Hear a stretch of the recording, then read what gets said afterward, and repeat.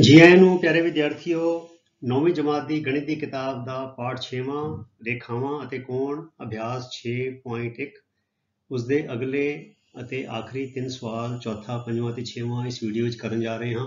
ਸੋ ਤੁਸੀਂ ਨੋਟਬੁੱਕ ਅਤੇ ਪੈਨ ਲੈ ਕੇ ਸਾਰੇ ਹੱਲ ਆਪਣੀ ਨੋਟਬੁੱਕ 'ਚ ਉਤਾਰ ਲਓ। ਵੀਡੀਓ ਨੂੰ ਬੜੇ ਧਿਆਨ ਦੇ ਨਾਲ ਸੁਣੋ ਤੇ ਦੇਖੋ। ਤੇ ਮਗਰੋਂ ਦੀ ਸਾਰੇ ਸਵਾਲਾਂ ਨੂੰ ਬਿਨਾਂ ਦੇਖੇ ਆਪਣੇ ਆਪ ਕਰਨ ਦਾ ਅਭਿਆਸ ਜ਼ਰੂਰ ਕਰੋ।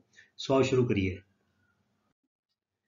ਸੋ ਬੱਚੋ ਚੌਥਾ ਸਵਾਲ ਹੈ, ਕਹਿੰਦੇ ਚਿੱਤਰ ਵਿੱਚ ਇਹ 6.1 ਜਿਹੜਾ ਚਿੱਤਰ ਹੈਗਾ ਤੁਹਾਡੀ ਕਿਤਾਬ ਦਾ, ਵਿੱਚ ਜੇ x y ਬਰਾਬਰ y z ਹੈ, x y, z y, ਮਤਲਬ ਕਿ ਇਹ ਕੋਣ x ਤੇ ਜਮਾ ਕੋਣ y ਬਰਾਬਰ ਹੈ, ਕੋਣ y ਕੋਣ z, ਤਾਂ ਸਿੱਧ ਕਰੋ ਕਿ AOB ਇੱਕ ਰੇਖਾ ਹੈ। ਫਿਰ ਸਿੱਧ ਕਰੋ ਕਿ ਜਿਹੜੀ AOB ਹੈ ਨਾ AOB ਇੱਕ ਰੇਖਾ ਹੈਗੀ ਹੈ। ਇਹ ਸਿੱਧੀ ਲਾਈਨ ਹੈ ਵੀ ਇਹਦਾ ਟੇਢੀ ਨਹੀਂ ਹੈਗੀ, ਵੀ ਇਦਾਂ ਇਦਾਂ ਨਹੀਂ ਹੈਗੀ। ਇਹ ਸਿੱਧੀ ਆ ਰਹੀ ਹੈ, ਇਹ ਸਿੱਧ ਕਰਨਾ ਬੱਚਿਓ। ਸੋ ਦੇਖਦੇ ਹਾਂ। ਅਸੀਂ ਦੇਖਦੇ ਹਾਂ ਕਿ x, y, w ਅਤੇ z ਰਲ ਕੇ ਪੂਰਨ ਕੋਣ ਬਣਾਉਂਦੇ ਹਨ। ਤੇ ਪੂਰਨ ਕੋਣ ਕਿਹੜਾ ਹੁੰਦਾ ਬੱਚਿਓ? ਅੰਗਰੇਜ਼ੀ ਚ ਇਹਨੂੰ ਕਹਿੰਦੇ ਕੰਪਲੀਟ ਐਂਗਲ 360 ਡਿਗਰੀ ਦਾ ਹੁੰਦਾ ਹੈ, ਜੋ ਅਸੀਂ ਕਿਤਾਬਾਂ 'ਚ 7ਵੀਂ 'ਚ ਵੀ ਪੜ੍ਹਿਆ 8ਵੀਂ 'ਚ ਵੀ ਪੜ੍ਹਿਆ ਤੇ 9ਵੀਂ ਫਿਰ ਫਿਰ 'ਚ ਆ ਗਿਆ। ਵੀ ਇੱਥੋਂ ਦੀ ਸ਼ੁਰੂ ਹੋ ਕੇ ਇਹ ਇੱਕ ਪੂਰਾ ਚੱਕਰ ਬਣਦਾ ਹੈ। ਇੱਥੋਂ ਦੀ ਲੈ ਕੇ ਇੱਥੇ ਤੱਕ। ਮਤਲਬ ਮੈਂ ਰੇਖਾ OB ਤੋਂ ਲੈ ਲਵਾਂ। ਤਾਂ ਰੇਖਾ OB ਤੋਂ ਖੱਬੇ ਪਾਸੇ ਤੋਂ ਸ਼ੁਰੂ ਹੋ ਕੇ ਪੂਰਾ OB ਤੱਕ ਇੱਥੇ ਆ ਜਾਂਦਾ, ਦੇਖੋ। ਕਿਤੋਂ ਵੀ ਸ਼ੁਰੂ ਕਰ ਲਓ, ਜਿਹੜੀ ਵੀ ਕਿਰਨ ਤੋਂ ਮਰਜ਼ੀ ਲੈ ਲਓ, ਐਵਲੀ ਕਿਰਨ ਤੋਂ ਲੈ ਲਓ ਤੇ ਮੈਂ ਇੱਥੋਂ ਖੱਬੇੋਂ ਸ਼ੁਰੂ ਕਰਕੇ ਪੂਰਾ ਚੱਕਰ ਇੱਥੇ ਤੱਕ ਬਣ ਜਾਂਦਾ। ਸੋ ਇਹਨੂੰ ਬੱਚੋ ਕਹਿੰਦੇ ਆ ਆਪਾਂ ਕੰਪਲੀਟ ਐਂਗਲ ਜਾਂ ਕਹਿੰਦੇ ਪੂਰਨ ਕੋਣ। ਸੋ ਇਹ ਰਲ ਕੇ x y w ਅਤੇ z ਰਲ ਕੇ ਪੂਰਨ ਕੋਣ ਬਣਾਉਂਦੇ ਹਨ। ਅਰਥਾਤ ਇਹਦਾ ਮਤਲਬ ਕੀ ਹੈ? ਇਹਦਾ ਮਤਲਬ ਇਹ ਵੇ x y y z ਬਰਾਬਰ 360 ਡਿਗਰੀ ਇਹ ਹੈਗਾ ਪੂਰਨ ਕੋਣ ਬਣਾਉਂਦੇ ਦਾ ਮਤਲਬ ਠੀਕ ਹੈ ਪਰ ਕਹਿੰਦੇ x y ਬਰਾਬਰ w z x y ਬਰਾਬਰ w z ਇਹ ਦਿੱਤਾ ਹੋਇਆ ਇਹਨਾਂ ਨੇ ਦਿੱਤਾ ਠੀਕ ਹੈ ਹੁਣ ਮੈਂ ਕੀ ਕੀਤਾ ਬੱਚੋ w z ਦੀ ਜਗ੍ਹਾ ਮੈਂ x y ਪਾਤਾ ਕਿਉਂਕਿ x y ਹੈ ਸੋ x y ਇਹ ਵਾਲਾ ਤੇ w z ਕਿਉਂਕਿ x y ਦੇ ਬਰਾਬਰ ਹੈ ਸੋ ਮੈਂ x y ਪਾਤਾ ਇੱਥੇ ਵੀ ਤੇ ਬਰਾਬਰ 360 ਉੱਤੇ ਲਿਖ ਦਿੱਤਾ ਹੁਣ x y x y, ਇਹ ਦੋ ਜਮਾ y ਹੋ ਗਏ, ਅਰਥਾਤ ਦੋ ਜਮਾ y ਬਰਾਬਰ 360 ਡਿਗਰੀ ਹੋ ਗਿਆ। ਠੀਕ ਹੈ ਜੀ? ਤੇ ਜੇ ਦੋ ਜਮਾ y ਤੇ x y ਕਿਹਦੇ ਬਰਾਬਰ ਹੋ ਜਾਏਗਾ ਬੱਚਿਓ? ਇਹ 360 ਬਟਾ 2 ਦੋ ਨਾਲ ਭਾਗ ਕਰ ਦਾਂਗੇ 360 ਨੂੰ। ਤੇ ਜਾਂ ਇਹਦਾ ਮਤਲਬ ਹੋਇਆ x y ਬਰਾਬਰ ਹੈ 180 180 ਕਿੱਦਾਂ ਆਇਆ ਬੱਚਿਓ? ਕਿਉਂਕਿ ਦੋ ਸੱਜੇ ਪਾਸੇ ਜਾ ਕੇ ਬਟਾ ਹੋ ਗਿਆ ਤੇ 360 ਨੂੰ ਦੋ ਨਾਲ ਭਾਗ ਕੀਤਾ ਤੇ 180 ਮਿਲ ਗਿਆ। ਹੁਣ ਬੱਚਿਓ ਪਰ ਹੁਣ ਦੇਖੋ ਸਾਡਾ ਜਵਾਬ ਇਹਦਾ ਤਿਆਰ ਕਰਨਾ ਹੈ, ਪਰ x ਅਤੇ y ਦੋ ਲਾਗਵੇਂ ਕੋਣ ਹਨ। x ਅਤੇ y ਲਾਗਵੇਂ ਕੋਣ ਨੇ ਨਾ? ਐਡਜਸੈਂਟ ਐਂਗਲ ਦੇਖੋ ਲਾਗਵੇਂ ਕੋਣ ਹੈਗੇ ਨੇ ਦੋ। ਤੇ ਅਤੇ ਜੇ ਦੋ ਲਾਗਵੇਂ ਕੋਣਾਂ ਦਾ ਜੋੜ 180 ਡਿਗਰੀ ਹੋਵੇ ਤਾਂ, ਹੁਣ ਬੱਚਿਓ, ਇਹ ਪੰਕਤੀ ਨੂੰ ਤੁਹਾਨੂੰ ਕੰਠ ਕਰਨਾ ਪੈਣਾ ਹੈ। ਇਹ ਹੈਗਾ ਸਵੈ ਸਿੱਧ ਸੱਚ। ਠੀਕ ਹੈ ਸੋ ਜਾਂ ਇਹਨੂੰ ਥਿਓਰਮ ਜਾਂ ਅਸੀਂ ਫੈਕਟ ਕਹਿ ਦਿੰਦੇ ਆ ਇਹ ਸੱਚਾਈ ਹੈ ਸਾਨੂੰ ਧਿਆਨ 'ਚ ਰੱਖਣੀ ਚਾਹੀਦੀ ਹੈ ਔਰ ਕੰਠ ਹੋਣੀ ਚਾਹੀਦੀ ਹੈ। ਸੋ ਇਹ ਲਿਖਣਾ ਇਦਾਂ ਅਤੇ ਜੇ ਦੋ ਲਾਗਵੇਂ ਕੋਣਾਂ ਦਾ ਜੋੜ 180 ਡਿਗਰੀ ਹੋਵੇ ਤਾਂ ਉਹਨਾਂ ਦੀਆਂ ਗੈਰ ਸਾਂਝੀਆਂ ਭੁਜਾਵਾਂ ਰੇਖਾ ਬਣਾਉਂਦੀਆਂ ਹਨ। ਹੁਣ ਦੇਖੋ, ਇਹ ਕੋਣ ਹੈ ਬੱਚਿਓ? X ਇਹ ਕੋਣ ਹੈ y ਤੇ ਜਿਹੜੀ OC ਹੈ OC ਉਹ ਤੇ ਹੈਗੀ ਸਾਂਝੀ ਭੁਜਾ ਦੋਨਾਂ ਦੀ। ਤੇ ਗੈਰ ਸਾਂਝੀ ਭੁਜਾ ਕਿਹੜੀ ਹੋ ਗਈ? X y ਦੀ ਹੋ ਗਈ OA ਤੇ x ਦੀ ਹੋ ਗਈ OB ਇਹ ਆ ਗਈਆਂ ਗੈਰ ਸਾਂਝੀ ਭੁਜਾਵਾਂ। ਤੇ ਰੇਖਾ ਬਣਾਉਂਦੀਆਂ ਅਰਥਾਤ AOB ਇੱਕ ਸਿੱਧੀ ਰੇਖਾ ਹੈ। ਇਸ ਤਰ੍ਹਾਂ AOB ਇੱਕ ਰੇਖਾ ਹੈ। ਇਹ ਤੱਥ ਬੱਚਿਓ, ਚੰਗੀ ਤਰ੍ਹਾਂ ਤੁਹਾਨੂੰ ਕੰਠ ਹੋਣਾ ਚਾਹੀਦਾ ਹੈ। ਇਹ ਵਾਲਾ, ਜੇ ਦੋ ਲਾਗਵੇਂ ਕੋਣਾਂ ਦਾ ਜੋੜ 180 ਡਿਗਰੀ ਹੋਵੇ ਤੇ ਉਹਨਾਂ ਦੀਆਂ ਗੈਰ ਸਾਂਝੀਆਂ ਭੁਜਾਵਾਂ ਰੇਖਾ ਬਣਾਉਂਦੀਆਂ ਹਨ। ਸੋ ਗੈਰ ਸਾਂਝੀ ਭੁਜਾ AOA ਤੇ OB ਇੱਕ ਰੇਖਾ ਬਣਾਣੀ ਹੈ। ਅਰਥਾਤ AOB ਇੱਕ ਰੇਖਾ ਹੈ। ਉਹਦੇ ਵਿੱਚ ਕੋਈ ਮੋੜ ਕੀੜ ਨਹੀਂ ਹੈ। ਅਰਥਾਤ ਇਹ ਕੋਣ ਜਿਹੜਾ 180 ਡਿਗਰੀ ਹੈ, ਇਹ ਕੋਣ ਵੀ 180 ਡਿਗਰੀ ਹੈ ਸੋ ਇਹ ਸਿੱਧੀ ਇੱਕ ਰੇਖਾ ਹੈ। ਠੀਕ ਹੈ ਬੱਚਿਓ ਸੋ ਇਹ ਸਵਾਲ ਇਦਾਂ ਕਰਨਾ ਹੈ। ਬਸ ਇਹ ਜਿਹੜਾ, ਇਹ ਜਿਹੜੀ ਗੱਲ ਹੈ ਲਿਖਣੀ ਬਹੁਤ ਜ਼ਰੂਰੀ ਹੈ। ਜੇ ਤੁਸੀਂ ਨਹੀਂ ਲਿਖੋਗੇ, ਤੇ ਤੁਹਾਨੂੰ ਫਿਰ ਨੰਬਰ ਨਹੀਂ ਮਿਲਣਗੇ, ਤੇ ਇਹ ਵਾਕ ਨੂੰ ਤੁਸੀਂ ਕੰਠ ਕਰ ਲੈਣਾ ਹੈ। ਠੀਕ ਹੈ, ਅੱਗੇ ਚਲੀਏ। ਹੁਣ ਆ ਗਿਆ ਬੱਚਿਓ ਪੰਜਵਾਂ ਸਵਾਲ। ਕਹਿੰਦੇ ਚਿੱਤਰ ਵਿੱਚ POQ ਇੱਕ ਰੇਖਾ ਹੈ PQ ਇੱਕ ਰੇਖਾ ਹੈ। ਠੀਕ ਹੈ ਜੀ। ਤੇ ਕਿਰਨ OR ਰੇਖਾ PQ ਤੇ ਲੰਬ ਹੈ। ਕਿਰਨ OR PQ ਦੇ ਉੱਤੇ ਲੰਬ ਹੈ। ਠੀਕ ਹੈ ਜੀ। ਕਹਿੰਦੇ ਕਿਰਨਾਂ OP ਕਿਰਨਾਂ OP ਅਤੇ OR OR ਦੇ ਵਿਚਕਾਰ, ਇਹਨਾਂ ਦੇ ਵਿਚਕਾਰ OS ਇੱਕ ਹੋਰ ਕਿਰਨ ਹੈ। OS ਇੱਕ ਹੋਰ ਕਿਰਨ ਹੈ ਇਹਨਾਂ ਦੇ ਵਿਚਕਾਰ, ਠੀਕ ਹੈ। OP ਦੇ ਵਿਚਕਾਰ ਤੇ OR ਦੇ ਵਿਚਕਾਰ। ਪਰ ਇਹ ਕਿੱਥੇ ਹੈਗੀ ਹੈ ਇਹ ਨਹੀਂ ਪਤਾ। ਇਹਦੇ ਵਿਚਕਾਰ ਹੈ। ਕਹਿੰਦੇ ਸਿੱਧ ਕਰੋ। ਸਿੱਧ ਕੀ ਕਰਨਾ ਬੱਚਿਓ? R O S angle R O S ਬਰਾਬਰ 1 ਬਟਾ 2 QOS ਘਟਾ ਪੀ ਓ ਐਸ ਠੀਕ ਹੈ ਬੱਚਿਓ? ਬੜਾ ਮਜ਼ੇਦਾਰ ਸਵਾਲ ਹੈ ਦੇਖਣ ਨੂੰ ਬੜਾ ਡਰਾਉਣਾ ਲੱਗਦਾ ਹੈ, ਪਰ ਅਸੀਂ ਬੱਚਿਓ ਧਿਆਨ ਨਾਲ ਜਿਹੜੇ ਦੇਖਾਂਗੇ ਤੇ ਸਾਨੂੰ ਜੁਗਤੀ ਪਤਾ ਲੱਗ ਜਾਏਗੀ। ਸੋ ਪਹਿਲਾਂ ਤੇ ਬੱਚਿਓ ਇਹ ਗੱਲ ਅਸੀਂ ਲਿਖਣੀ ਹੈ ਇੱਕ ਤਿਆਰੀ ਕਰਨ ਲਈ। ਪਹਿਲਾਂ ਮੈਦਾਨ ਤਿਆਰ ਕਰੀਏ। ਕਿ ਕਿਉਂਕਿ ਕਿਰਨ OR ਰੇਖਾ PQ ਤੇ ਲੰਬ ਹੈ, ਦਿੱਤਾ ਹੈ ਨਾ ਦੇਖੋ, ਕਿਰਨ OR ਰੇਖਾ PQ ਤੇ ਲੰਬ ਹੈ, ਇਸ ਲਈ POR ਬਰਾਬਰ QOR ਬਰਾਬਰ 90 ਡਿਗਰੀ, ਜੇ ਲੰਬ ਹੈ ਤੇ ਬੱਚਿਓ, ਇਹ ਵਾਲਾ ਪਾਸਾ, ਇਹ ਵਾਲਾ ਵੀ 90 ਡਿਗਰੀ ਹੋ ਗਿਆ, ਇਹ ਵਾਲਾ ਵੀ 90 ਡਿਗਰੀ ਹੋ ਗਿਆ ਸੋ ਦੋ ਕੋਣ ਬਰਾਬਰ ਹੋ ਗਏ POR ਤੇ QOR POR ਬਰਾਬਰ QR ਬਰਾਬਰ 90 ਡਿਗਰੀ, ਇਹ ਅਸੀਂ ਗੱਲ ਧਿਆਨ 'ਚ ਰੱਖਣੀ ਹੈ। ਹੁਣ ਬੱਚਿਓ ਦੇਖੋ, ਮੈਂ ROS ਹੁਣ ਮੈਂ ਦੇਖ ਰਿਹਾ ਕਿ ਸਵਾਲ ਮੈਂ ਕਿੱਦਾਂ ਇਹਨੂੰ ਕਰਾਂ। ਮੈਂ ਤੁਹਾਨੂੰ ਇੱਕ ਜੁਗਤੀ ਦੱਸ ਰਿਹਾ, ਵੈਸੇ ਤਜਰਬੇ ਨਾਲ ਗੱਲਾਂ ਆਉਂਦੀਆਂ ਨੇ। ਜੇ ਮੈਂ ਦੋ ਨੂੰ ਇੱਥੇ ਲੈ ਜਾਵਾਂ, ਮੈਂ ਦੋ ਨੂੰ ਇੱਥੇ ਲੈ ਜਾਵਾਂ ਤੇ ਦੋ ROS ਆ ਜਾਣਗੇ। ਦੋ ROS ਹੋ ਜਾਣਗੇ, ਦੋ ਗੁਣਾ ਹੋ ਜਾਏਗਾ। ਇਹਦਾ ਮਤਲਬ ਇਹ ਹੋ ਰਿਹਾ ਬੱਚਿਓ ROS ਮੈਨੂੰ ਦੋ ਕਿੱਦਾਂ ਮਿਲਣਗੇ? ਜੇ ਮੈਂ ਇੱਕ ROS ਨੂੰ ਦੂਜੇ ROS ਨਾਲ ਜੋੜਾਂ, ਤੇ ਫਿਰ ਮੈਨੂੰ ਇੱਕ ਆਈਡੀਆ ਆਇਆ। ਇਹਦਾ ਮਤਲਬ ਕਿ RSO ਦੇ ਬਰਾਬਰ ਮੈਂ ਇੱਕ ਸਮੀਕਰਨ ਬਣਾਵਾਂ ਤੇ ਇੱਕ RSO ਦੇ ਬਰਾਬਰ ਦੂਜਾ ਸਮੀਕਰਨ ਬਣਾਵਾਂ ਤੇ ਜੇ ਮੈਂ ਦੋਨਾਂ ਨੂੰ ਜੋੜਾਂਗਾ ਤੇ ਮੈਨੂੰ ਖੱਬੇ ਪਾਸੇ ਦੋ ROS ਮਿਲ ਜਾਣਗੇ ਤੇ ਫਿਰ ਮੇਰਾ ਸਵਾਲ ਹੋ ਜਾਏਗਾ। ਸੋ ਜਿਹੜੇ ਇਹ ਬੱਚਿਓ ਇੱਕ ਟ੍ਰਿਕ ਹੈਗੀ ਏ, ਇਹ ਤਜਰਬੇ ਨਾਲ ਤੁਹਾਨੂੰ ਆਉਂਦੀ, ਜਿਵੇਂ ਜਿਵੇਂ ਤੁਸੀਂ ਗਣਿਤ ਕਰਦੇ ਹੋ। ਸੋ ਮੈਂ ਕੀ ਕੀਤਾ? ROS ਬਰਾਬਰ QOS QOS ਘਟਾ QOR QOR ਠੀਕ ਹੈ ਨਾ ਬਿਲਕੁਲ? ਇਹ ਕੋਣ ਵਿੱਚੋਂ, ਮਤਲਬ ਇਹ ਕੋਣ ਜੇ ਮੈਂ ਲੱਭਣਾ ਹੈ QROS ਤੇ ਪੂਰੇ ਵੱਡੇ ਕੋਣ ਚੋਂ ਮੈਂ ਇਹ ਵਾਲਾ ਛੋਟਾ ਕੋਣ ਘਟਾਤਾ, ਤੇ ਮੈਨੂੰ ROS ਮਿਲ ਗਿਆ। ਇਹ ਮੇਰਾ ਬਣ ਗਿਆ ਸਮੀਕਰਨ 1 ਹੁਣ ਮੈਂ ਦੂਜਾ ਪਾਸਾ ਲੈ ਲੈਣਾ ROS ROS POR ਇਹਦੇ ਵਿੱਚੋਂ ਮੈਂ ਇਹ ਘਟਾਤਾ POS ਮਤਲਬ ਕਿ ਜਿਵੇਂ ਇਹ ਲੈਣਾ ਬੱਚਿਓ, ਤੇ ਇਹ ਵਾਲੇ ਕੋਣ ਚੋਂ, ਇਹ ਵਾਲੇ ਕੋਣ ਚੋਂ ਮੈਂ ਇਹ ਵਾਲਾ ਕੋਣ ਘਟਾਤਾ, ਇਹ 90 ਡਿਗਰੀ ਚੋਂ ਇਹ ਵਾਲਾ ਘਟਾਤਾ, ਤੇ ਇਹਦੇ ਵਿੱਚ ਮੈਂ ਇਹਦੇ ਵਿੱਚੋਂ, ਪੂਰੇ ਚੋਂ ਇਹ ਵਾਲਾ ਘਟਾਤਾ, ਤੇ ਮੇਰਾ ਇਹ ਦੂਜੇ ਦੋ ਸਮੀਕਰਨ ਬਣ ਗਏ। ਹੁਣ ਕੀ ਕਰਨਾ ਬੱਚਿਓ 1 ਅਤੇ 2 ਨੂੰ ਜੋੜਦੇ ਹੋਏ, ਤੇ ਸਾਡਾ ਸਵਾਲ ਹੋ ਜਾਏਗਾ ਆ ਦੇਖੋ ਕਰੀਏ ਹੁਣ।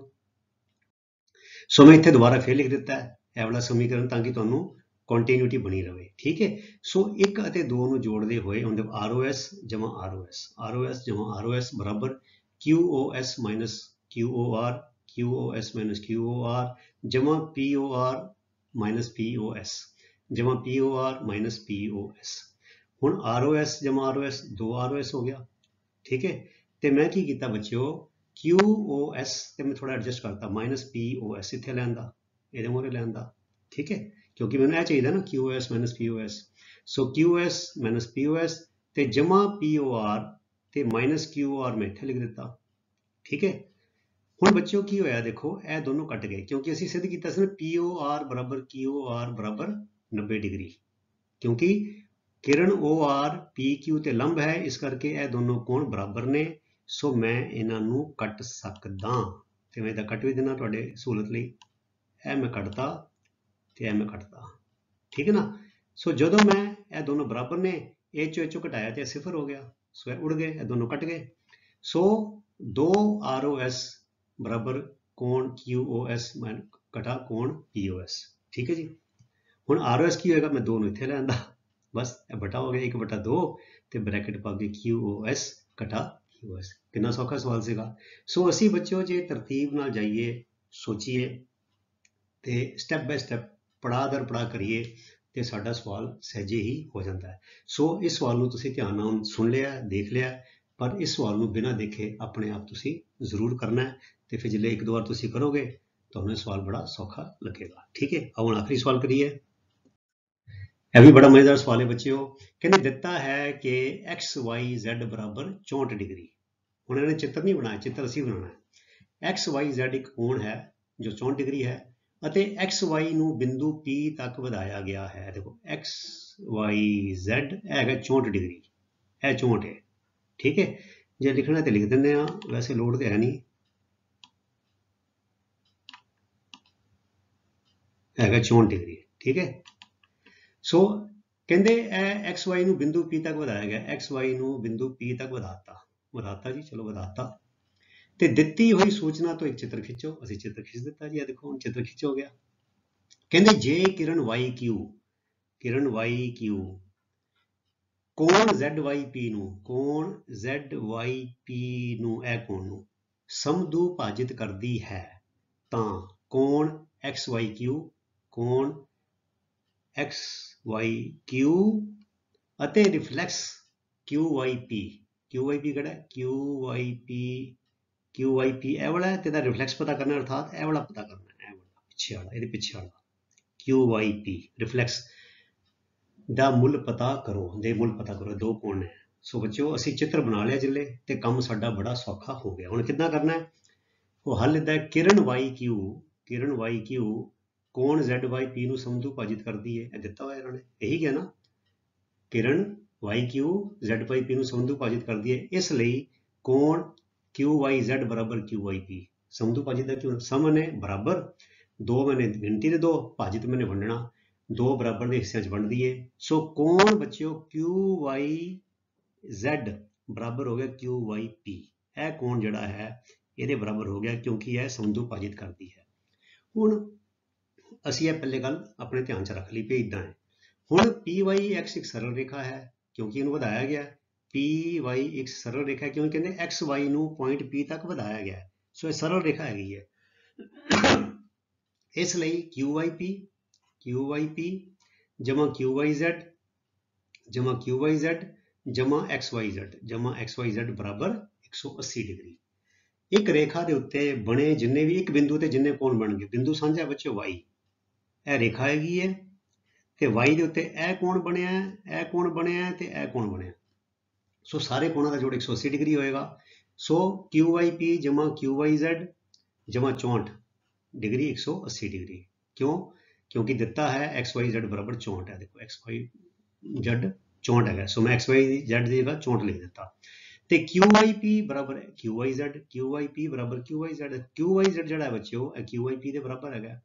QYZ ਜਿਹੜਾ ਹੈ ਬੱਚਿਓ ਇਹ QYP ਦੇ ਬਰਾਬਰ ਹੈਗਾ ਸੋ ਮੈਂ QYZ ਦੀ ਜਗ੍ਹਾ QYP ਲਿਖ ਦਿੱਤਾ ਤਾਂ QYP ਜਮਾ QYP ਦੋ QYP ਹੋ ਗਏ। ਇਹ ਦੇਖੋ ਦਿੱਤਾ ਹੈ QYZ QYP ਕਿਉਂਕਿ ਸਮਦੂ ਕਰਦਾ ਹੈ। ਠੀਕ ਹੈ ਨਾ? ਸੋ, ਇਹ ਦੋ ਕੋਣ ਬਰਾਬਰ ਨੇ। ਸੋ, ਇਹ ਦੋਨਾਂ ਨੂੰ ਜੋੜ ਕੇ 2 QYP ਆ ਗਿਆ। ਬਰਾਬਰ 180 ਘਟਾ 64 64 ਪਿੱਛੇ ਚਲਾ ਗਿਆ। ਮਲੀ ਸੱਜੇ ਪਾਸੇ ਘਟਾ ਹੋ ਗਿਆ। ਤੇ 164 180 ਜੋ 64 ਗਿਆ 160 ਹੋ ਗਿਆ। ਇਹ ਸੌਰੀ 116 ਹੋ ਗਿਆ। ਤੇ 2 ਇੱਥੇ ਆ ਗਿਆ, ਥੱਲੇ QIP ਕਿਹਦੇ ਬਰਾਬਰ ਹੋ ਗਿਆ? 116 ਬਟਾ 2 58 ਡਿਗਰੀ। ਠੀਕ ਹੈ ਜੀ? ਤੇ ਬੱਚੋ QIP ਤੇ ਆ ਗਿਆ 58 ਡਿਗਰੀ, ਸੋ ਰਿਫਲੈਕਸ QIP ਕੀ ਹੋ ਜਾਏਗਾ? 360 ਜਿਹੜੇ ਰਿਫਲੈਕਸ ਕੋਣ ਪਤਾ ਕਰਨਾ ਹੋਵੇ, ਤੇ ਜਿਸ ਕੋਣ ਦਾ ਰਿਫਲੈਕਸ ਕੋਣ ਪਤਾ ਕਰਨਾ ਹੈ, ਉਸ ਕੋਣ ਨੂੰ 360 ਚੋਂ ਘਟਾ ਦਿਓ ਤੇ ਰਿਫਲੈਕਸ ਕੋਣ ਪਤਾ ਲੱਗ ਜਾਂਦਾ ਹੈ। ਸੋ ਜੇ QIP 58 ਹੈ, ਤੇ ਰਿਫਲੈਕਸ QIP ਹੋ ਜਾਏਗਾ 360 ਘਟਾ 58 ਬਰਾਬਰ 302 ਡਿਗਰੀ। ਇਹ ਤੇ ਆ ਗਿਆ ਬੱਚੋ ਸਾਡਾ ਇਹ ਵਾਲਾ ਜਵਾਬ। QIP ਦਾ ਮੁੱਲ ਆ ਗਿਆ 302 ਡਿਗਰੀ। ਹੁਣ ਅਸੀਂ ਪਤਾ ਲਗਾਉਣਾ ਹੈ XY ਆਪਣਾ XYQ ਠੀਕ ਹੈ ਆਓ ਦੇਖੀਏ ਹੁਣ XYQ ਪਤਾ ਕਰਨਾ ਹੁਣ XYQ ਬਰਾਬਰ QYZ ਜਮਾ XYZ XYQ ਬਰਾਬਰ QYZ QYZ ਜਮਾ XYZ ਠੀਕ ਹੈ ਪਰ QYZ ਬਰਾਬਰ QYP 58 ਡਿਗਰੀ ਅਸੀਂ ਪਤਾ ਕੀਤਾ ਉੱਤੇ ਹੁਣ ਕੈਲਕੂਲੇਟ ਕੀਤਾ ਨਾ ਵੀ ਜਿਹੜਾ QYZ ਹੈਗਾ QYP ਹੈਗਾ QYP QYZ ਦੇ ਬਰਾਬਰ ਹੈਗਾ। ਸੋਹਣੀ ਅਸੀਂ QYP ਕੱਢਿਆ QYP 58 ਡਿਗਰੀ ਕੱਢਿਆ। ਪਰ ਇਹ ਇਹਦੇ ਬਰਾਬਰ ਹੀ QYZ ਦੇ ਬਰਾਬਰ ਵੀ ਹੈਗਾ। ਸੋ QYZ ਬਰਾਬਰ QYP ਬਰਾਬਰ 58 ਡਿਗਰੀ ਅਤੇ ਦਿੱਤਾ ਹੈ XYZ ਬਰਾਬਰ 64 ਡਿਗਰੀ। ਸੋ ਇਹ 64 ਤੇ 58 ਜੋੜ ਲਾਂਗੇ ਜਲਦੀ ਇਸ ਲਈ XYQ ਬਰਾਬਰ XYZ ਦੀ ਜਗ੍ਹਾ 58 ਪਾਤਾ XYZ ਦੀ ਜਗ੍ਹਾ ਸੌਰੀ QYZ ਦੀ ਜਗ੍ਹਾ 58 ਪਾਤਾ XYZ ਦੀ 64 ਪਾਤਾ। 58 ਜਮਾ 64 122 ਡਿਗਰੀ ਇਹ ਸਾਡਾ ਆ ਗਿਆ। ਆਨਸਰ ਠੀਕ ਹੈ ਬੱਚਿਓ? ਸੋ ਇਸ ਸਵਾਲ ਵਿੱਚ ਦੋ ਭਾਗ ਸੀਗੇ। ਇੱਕ ਅਸੀਂ ਰਿਫਲੈਕਸ ਕੋਣ ਪਤਾ ਕਰਨਾ ਸੀ ਤੇ ਇੱਕ ਐਪ ਪਤਾ ਕਰਨਾ ਸੀ, ਜੋ ਅਸੀਂ ਪਤਾ ਕਰ ਲਿਆ। ਇਹ ਚਿੱਤਰ ਬਣਾਉਣਾ ਬੜਾ ਜ਼ਰੂਰੀ ਹੈ। ਸੋ ਚਿੱਤਰ ਤੁਹਾਡੇ ਲਈ ਬਣਾ ਦਿੱਤਾ ਹੈ। ਇਹਨੂੰ ਤੁਸੀਂ ਆਪਣੇ ਆਪ ਬਣਾਉਣ ਦਾ ਅਭਿਆਸ ਵੀ ਜ਼ਰੂਰ ਕਰਨਾ ਹੈ। ਸੋ ਪਿਆਰੇ ਵਿਦਿਆਰਥੀਓ, ਇਹ ਸੀ ਤੁਹਾਡਾ ਅਭਿਆਸ ਨੰਬਰ 6.1 ਇਹਦੇ ਨਾਲ ਇਹ ਅਭਿਆਸ ਖਤਮ ਹੁੰਦਾ ਹੈ। ਆਉਣ ਵਾਲੇ ਸਮੇਂ 'ਚ ਅਸੀਂ ਅਗਲਾ ਅਭਿਆਸ 6.2 ਸ਼ੁਰੂ ਕਰਾਂਗੇ। ਤੁਸੀਂ ਇਸੇ ਤਰ੍ਹਾਂ ਨੇਮ ਨਾਲ, ਉਤਸ਼ਾਹ ਨਾਲ ਆਪਣੀ ਪੜ੍ਹਾਈ ਕਰੀ ਚਲੋ ਤੇ ਅਗਲੇ ਵੀਡੀਓ ਤੱਕ ਲਈ ਗੁੱਡ ਬਾਏ ਤੁਹਾਡਾ ਸਾਰਿਆਂ ਦਾ ਬਹੁਤ ਬਹੁਤ ਧੰਨਵਾਦ। ਰੱਬ ਰਾਖਾ।